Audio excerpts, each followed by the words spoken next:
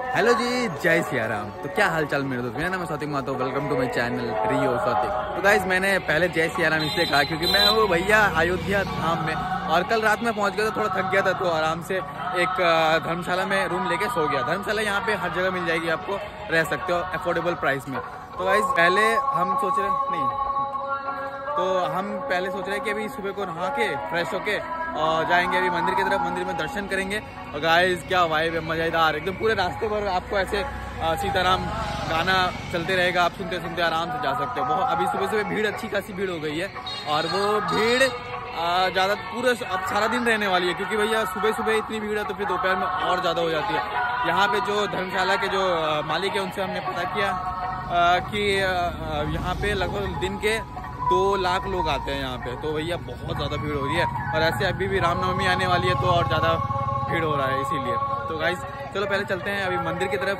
मंदिर में दर्शन करेंगे। फिर उसके बाद आगे और भी कुछ कुछ जगह है हनुमान घड़ी ये सारी जगह घूम के एक्सप्लोर करके फिर उसके बाद यहाँ से निकलेंगे। तो गाइज़ जय सिया राम। तो गाइज़ ये है रास्ता जाने का। और यहाँ पे जगह जगह पे देखो मंगलदीप वाले स्पॉन्सर किए हैं, शायद बड़ा बड़ा अगरबत्ती लगा के रखे हैं।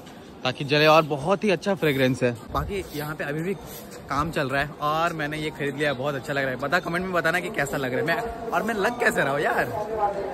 एकदम तो पूरा राम मंदिर के लिए ही मैंने इसको खरीदा है और आज इसको पहन के मैं घूम रहा हूँ। तो गाइज़ जैसे देख सकते हो जो बड़े बड़े क्रेन दिख रहे हैं, उसी तरफ़ राम मंदिर है और उसी तरफ़ हम जा भी रहे हैं।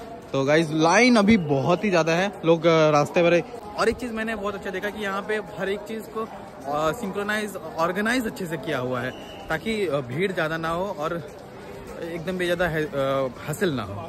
तो गाइज़ अभी और एक और चीज़ है कि यहाँ पे हर जगह आपको सिक्योरिटी और पुलिस वाले हर जगह दिख जाए कोई यहाँ पे कोई भी दिक्कत कहीं भी नहीं होने देते। कोई अगर प्रॉब्लम हो, कोई पुलिस कोई भी कंप्लेन करो, आपका जितना जल्दी हो सके वो उसको ठीक करने की कोशिश करते हैं। बाकी ये गेट है, इस गेट में आपको एंट्री लेनी पड़ेगी, फिर आगे आप जाएँगे।